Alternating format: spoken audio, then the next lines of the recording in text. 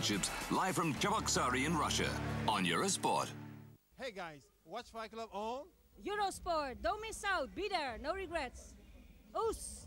Oos.